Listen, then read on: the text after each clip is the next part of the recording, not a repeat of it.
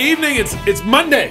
It it's is. Monday. We're back at it. We didn't get an extra day this weekend. It was weird. You don't ever get it. Pastor Toby, Chalk Knox on the Water Boy. It's good to be with you. You know, good good news. Oh, good news. I love we, we good have good news news. today. Yeah. Um, if you're a liberal, you don't have to do this anymore. But what's that?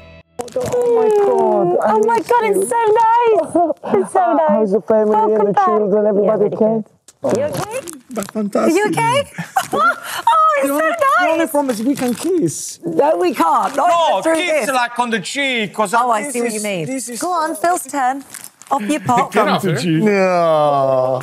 Damn it. Oh. This is real.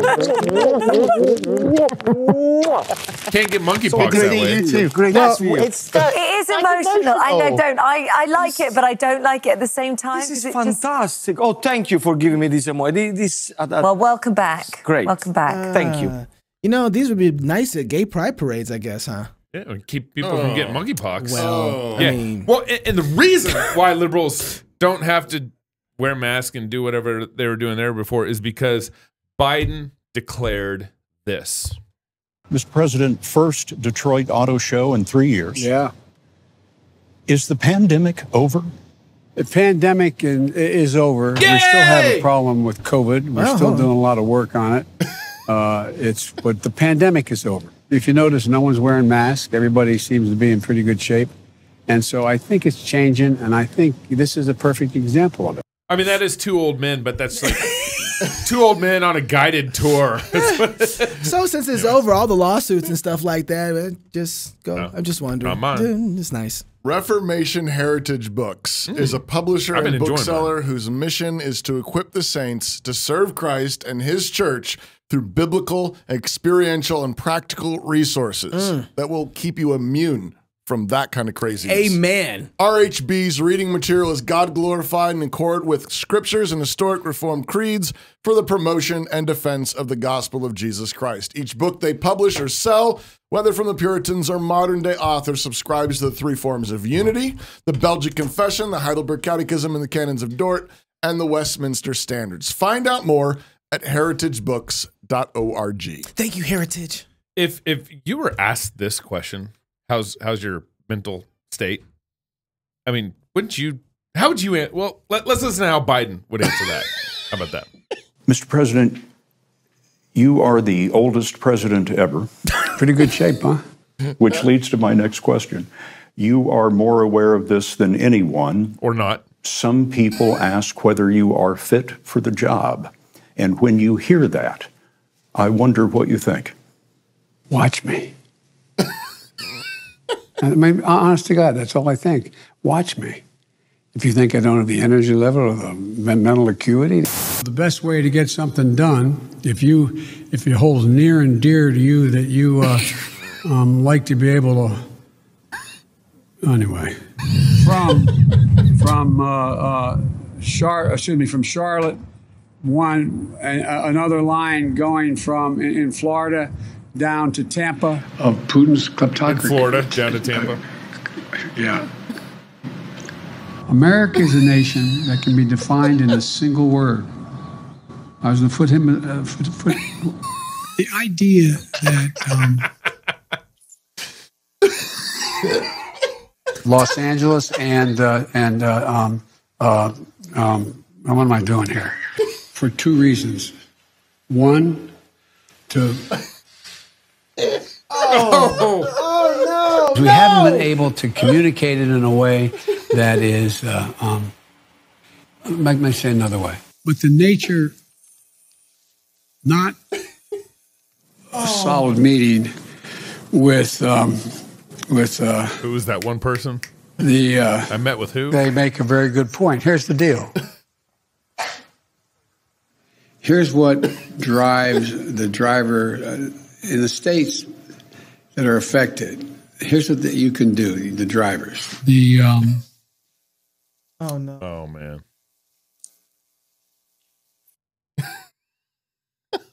Uh, Oh. I uh, I, I want to Wow. la- somewhere halfway through there. I start feeling really bad. I'm Like that's bad. But you know, here's one of the things that I think about Wow. when we see our leaders. We got to look at it and be like, oh, that's America right now. Like that's Yeah. a person who rightly is leading this country, and I feel I really did feel bad about that though. That's that's not so. mm. So this is coming off. Uh, he, uh, he was on 60 Minutes on Sunday night. Can you see the aides though? The aides have to be like, no, don't say that. There's video out there. Like I, I hate. I would hate to be an aide for Biden because just you just. I think we were watching it earlier with the producers, and everybody was waiting for. We were so happy that he could remember acuity. We were like, "Woo! Oh, he got the word right." That's a great word. and we were happy for him. And like, he's not our guy, but we're happy because he still represents us. Anyway, this is just. So, I, I kind of wonder if the aides are at this point just have a little gambling behind the scenes. It's but, bad. you It has to uh, be bad. So he's on 60 Minutes uh, this this last Sunday night, Right. Um, and it was basically two old men on a guided tour and having conversations. with one each was other. better than the other. Uh, one was, I'll let you decide yeah, which yeah. one. And and so that same president who whose mental state is supposedly doing well was also asked about uh, the economy and inflation.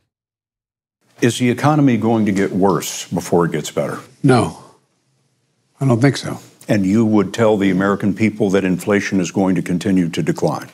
No, I'm telling the American people that we're going to get control of inflation. And their prescription drug prices are going to be a hell of a lot lower. Their healthcare costs are going to be a lot lower. Their basic costs for everybody. Their energy prices are going to be lower. They're going to be in a situation where they begin to gain control again. I'm more optimistic than I've been in a long time. You ever, you ever, um, Oh, y- there's a couple things here. One of them is I don't. I need somebody to tell me the truth.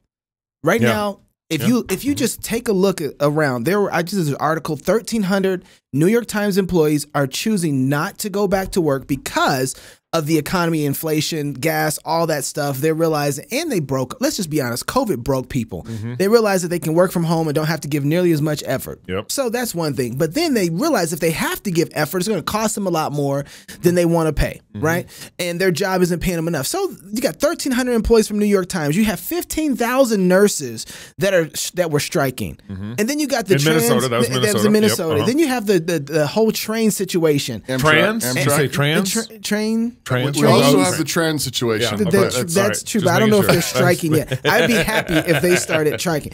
You have pilots that are striking. We saw just recently in Seattle, Tacoma, Tacoma, Washington. Here, there were lines all the way to the parking lot just to go through security, to go through the security out- checkpoint. Out the uh, um, uh, garage, parking garage, So- not just the parking lot in Seattle. So, Oh th- so what is that? A three-hour wait? Who knows how long that is just to go through there? What else did you have? Oh, that's right. Um, we're in the Sandsdemic, and you have seven point two trillion dollars pulled out of the stock. It's, so Of the stock market. stock, Yep. stock market. So Yep. tell me the truth, though. Everybody's looking at the situation, and nobody. You had Yellen. Telling us, uh, oh no, Inflation's not gonna inflation's happen. not No- going to happen. yeah, no inflation. No inflation. Twice came back and said, oh, there'll be a little bit. They don't have any idea, concept what they're doing. And they also did an economic analysis looking at uh, Biden's um, executive orders and how much it's cost the U.S. And and the, the analysis was basically a Biden Biden has signed 99 executive orders so far in his presidency. Um, uh, Obama did 276, Trump did 225, something like that. Biden's already tracking to pass them if he keeps up the same uh, from rate. executive orders. And and Biden signed 99 executive orders already, which is going to cost us about 1.5 trillion dollars. Um, that's what they estimated through their economic analysis. at, at this point, I don't care if Republican, Democrat, I don't care who you are. But if I broke my leg and I see that my leg is broken and I come to you and be like, hey man, what's going on here? It's like, ah, it's fine. You know, just put some Robitussin on it. You'll be good. Like I don't, I won't, I don't believe you. Yeah. Like don't lie. to- I know it's midterms. I want, I know you want to be, but tell me the truth. Yeah. Because regardless if I like it or not, you're still my president. You're still my leader. And so I would like to know whether or not, if people are going to make decisions about what they're going to do with their life and their fortune for the next 15, 20 years, based off of comments like that, he's ruining people, and that is wrong. Well, I mean, I think the, I mean, I understand what you're trying to say with the words coming out of your mouth, okay. but but the the church doesn't really want the same thing either. We don't want to be told the truth about the state of the and condition of our church. We don't want to be told the truth about uh, the church's role in connection to society.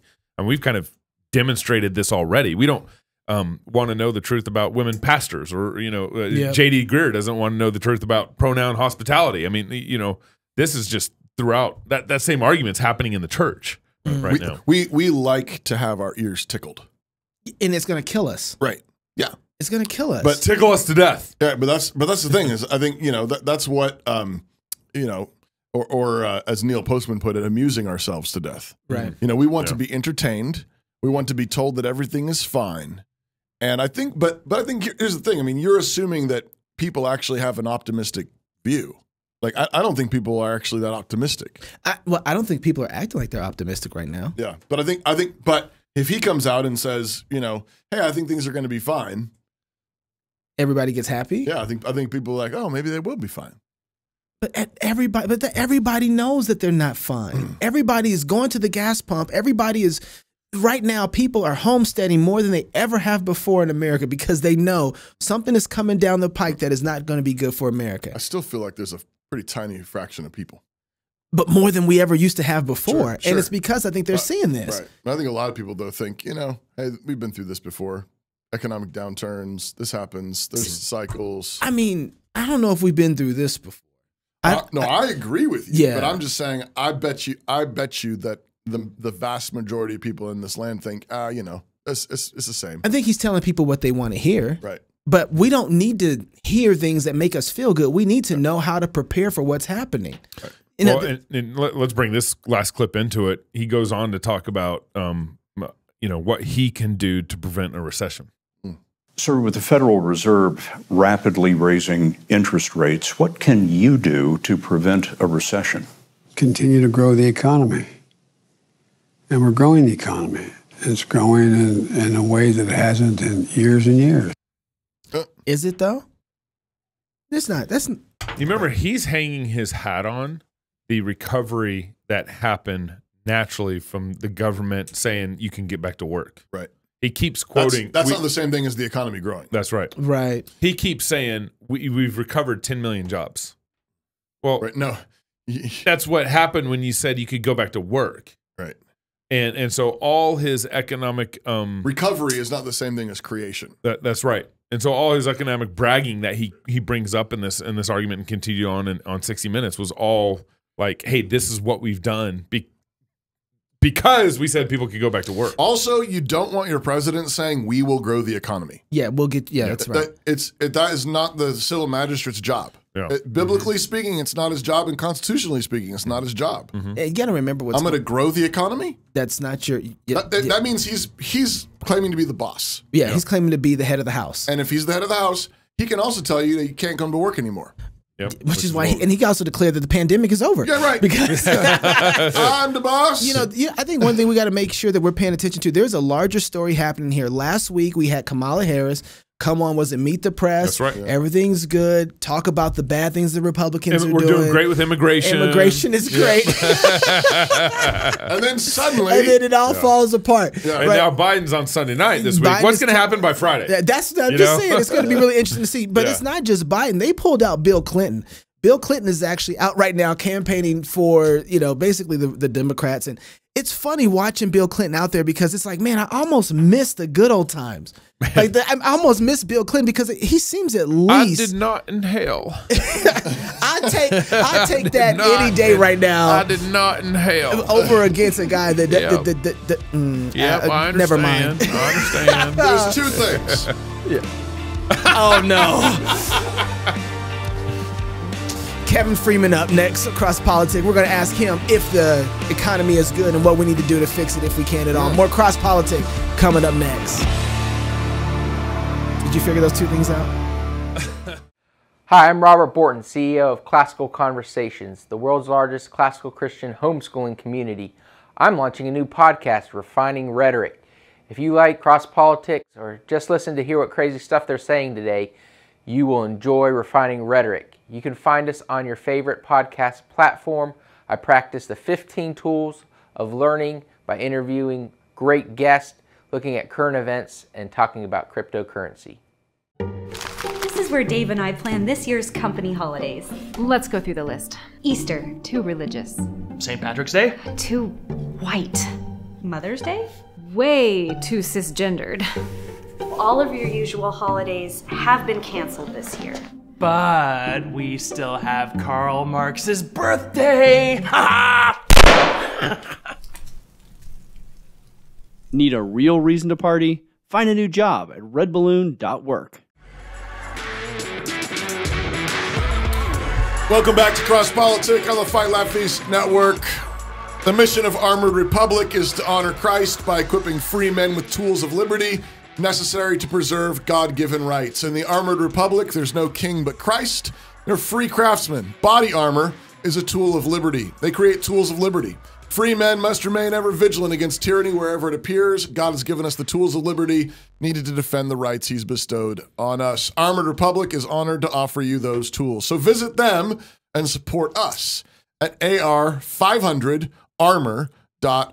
I got me some of those tools of liberty. Just want to say that. Out. Mm-hmm. Okay. Yeah. Hey, with us right now, we're very grateful to have Kevin Freeman. He's founder and CEO of Freeman Global Holdings and New York Times best-selling author and author uh, and uh, host of Economic War Room on the Blaze. Economic Yep. War Room Yep. on the Mhm. Blaze. He's also the author of According to Plan, the Elite's Secret Plan to Sabotage America. Ooh. Kevin, thanks for joining us on Cross Politic. Oh, it's an honor and a privilege. Well, um, this last uh, weekend, I guess Sunday night, Biden was on 60 Minutes proclaiming just how amazing the economy is doing. And uh, so I want to uh, have you listen to that clip, watch that clip with us, and then have you respond.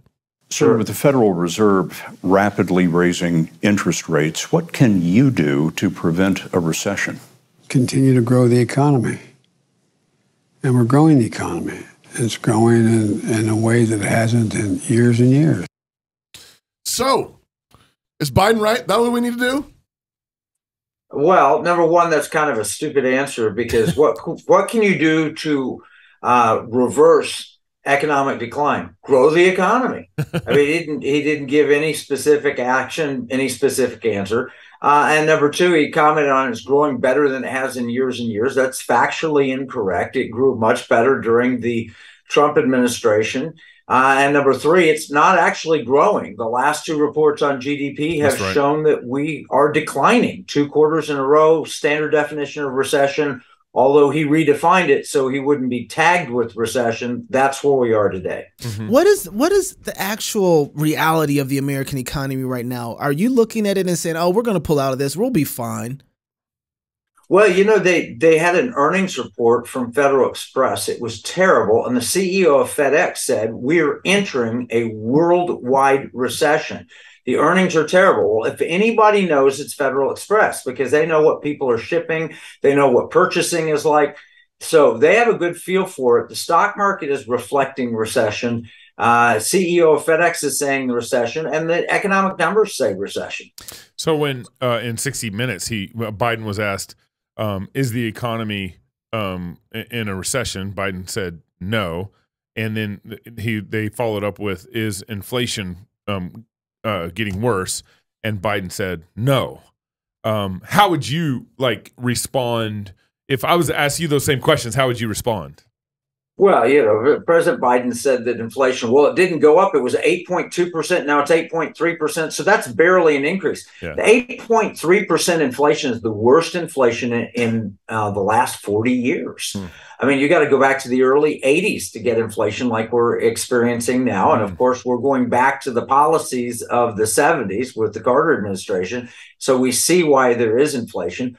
Uh, the only way to fix inflation is to actually unleash the American economy by reducing regulation, reducing taxes, getting the supply side up. He's right. Uh, supply chain problems have created a lot of the inflation. But the answer isn't more regulations or demanding things. The answer is unleashing Americans to start manufacturing and creating things again. And they've crushed the supply side through every policy that they've administered. Kevin, um, you know, uh, uh, I don't think. I mean, I think we can blame a, uh Biden for a lot of kind of our economic woes. I think you can point to maybe gas prices and sp- some specific things he could blame on Biden. Um, but I also think like where we're at has been a a team effort from Republicans and Democrats to give us the inflation we have now. Be, you know, stimulus two stimulus packages were vi- voted in under a Trump administration, and one stimulus package under uh, uh, um, the Biden administration. Is how do you read that? Yeah. So what Biden did was he took policies that were bad and made them worse. Uh, we have too much debt. We ran up a lot of debt in the Trump administration, but at least the economy is rapidly growing at that point. Uh, what he did, though, when he came in and ca- kept us in lockdown much longer than we should have, or at least encouraged lockdown much longer than he should have. Uh, put in the vaccine mandate, which caused a lot of people to get exit the workforce. They didn't want to be a part of it. So he took bad policies and made them worse. The good parts of the Trump policies were removed, which were literally unleashing American entrepreneurs, unleashing American investment, energy independence. So Biden's solution is not drill more oil; it's release it from the Strategic Petroleum Reserve. At you know, and th- these are all long-term bad policies. Uh, but I think they're according to plan, and I think that that's you know that's why I wrote the book according to plan to point out uh, whether it's Afghanistan, whether it is the policies in the labor market or inflation or or whatever, they all seem to be harming America, and I think that's according to their plan.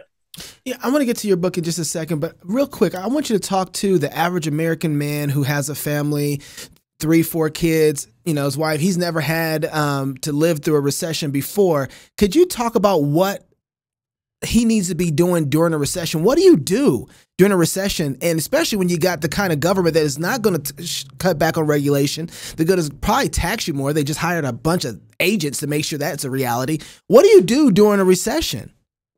Well, you know what what you need to do is prepare for it in the good times. This is the old Joseph story. So when the good times are good, you set money aside, you set grain aside, or whatever. It's very difficult to respond in in in a recession.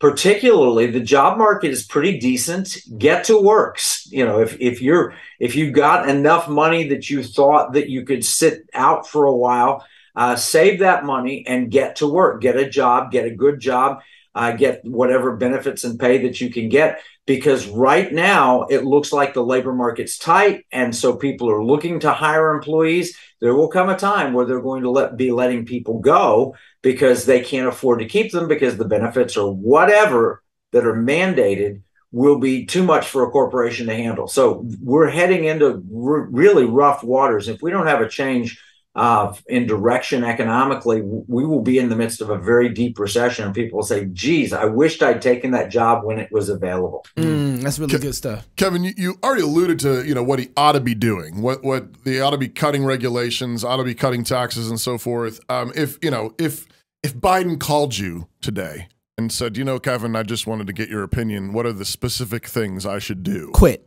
I'm sorry, sorry. I'm sorry. apart apart from resigning immediately, um, I mean, what are some like very specific policy changes that you would say you need to do this yesterday? I, I would go back and put the Keystone Pipeline back in place. Okay. I would open up and encourage as much American energy development as possible.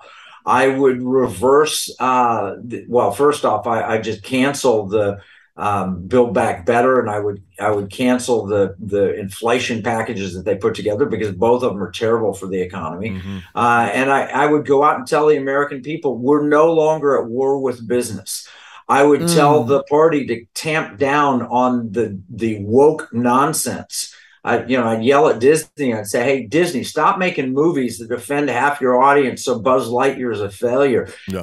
let's start be pro-America again." And I, I would try and revitalize that American patriotic spirit. Tell them we're in an economic war, and we can win the war if we work together. Stop dividing us and start uniting us. Wow, Kevin, wow! Kevin, I think he's running. what are you running for? according to planbook.com is where you can get your book. According to plan, whose plan is it? And and what is the plan to take down America?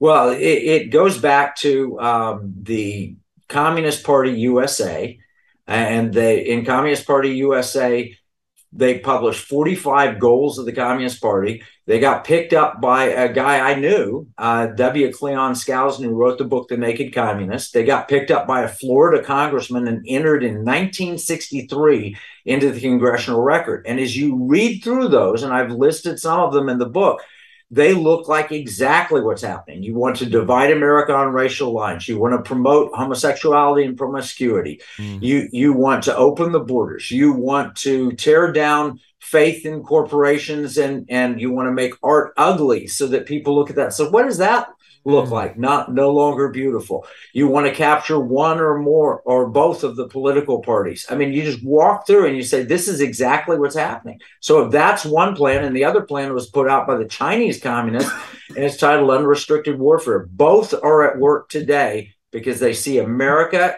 and individual liberty and individual freedom are first 10 amendments to the Constitution, the Bill of Rights, as the biggest threat to their ability to take over with collectivism, socialism, Marxism, whatever you want to call it. So that's that's the plan.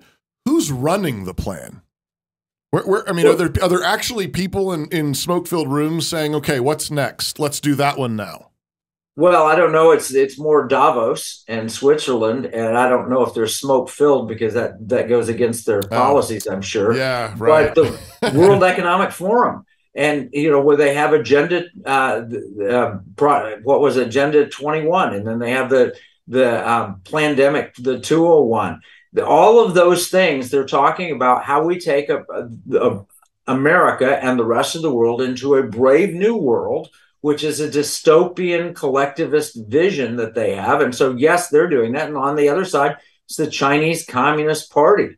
Uh, before that, it was the KGB and the Soviet Union. Do you think, though, that they have won the imagination? Uh, the imagination of the people are already set towards this kind of dystopia. You know, I remember when people bought cars now everybody that I can remember, they just kind of lease them. And then they go back and they lease another car. And they're not ever owning anything, but they always got the new hotness, right? And so there seems to be this mindset where they're fine leasing things or not owning things and being very happy because they got it. There's a ad uh, that we were we were talking about before the show where Gorbachev is uh, you know, he walk, he walks into a Pizza Hut, and these guys start arguing about the goodness and the and the badness of Gorbachev, and they're like, "Yes, but Gorbachev gave us Pizza Hut. Yep. And then they all come together like, ah, yay, Gorbachev, Gorbachev. Yeah. And, I'm, and, and it's funny because it seems weird, but that's kind of where we are. It's like, so long as I have a Pizza Hut, so long as I have all the things I want, that's kind of the imaginations of people right now. Why do I care? Well, I would argue capitalism gave them a Pizza Hut. Come and, on now. Uh, they, they were able able to enjoy that because of that. There's a story from Houston when uh, when Boris Yeltsin came to visit Houston, and he was working number two to Gorbachev in yep. in the Soviet Union, and he knew the Soviet Union would fall. When at the end of his meetings, we showed him all our rocket technology and everything else, and he said, uh, "Okay, I want to get some vodka on my way out of town." So they said, "We'll stop at our at our favorite grocery store," and he said, "No, no, no, I'm going to stop." At, at my pick. And so they gave him a map and he just put his finger down and they stopped at the closest store to that, which was a Randall's, uh, which is now Safeway. and they went in there and he could not believe all of the wide selection mm-hmm. of fruits and vegetables and processed packaged foods and everything else. And he wrote in his memoirs, at that moment, I knew the Soviet Union would fail because capitalism better serves the consumer than, than uh, collectivism. And if without freedom and capitalism and, and, you wouldn't have a pizza hut in the soviet union and so those people that are satisfied with that hey you'll own nothing and like it from the world economic forum does not mean you will lease your car it means you will not have a car mm. leased owned or otherwise mm. and you'll like it oh. according to planbook.com Kevin, you're to hang out with us a little more backstage. We're talking. I want to talk about how do you have a free market when you got all this stupid regulation. You got to have a way to get around it. More cross politic coming up backstage. So if you're single, get married. If you're married, have you some kids, and if you have kids, go baptize them. Until tomorrow, love God with all your heart, soul, mind, and strength. Love your neighbor as yourself. Go fight, laugh, and feast. This is cross politic. Home.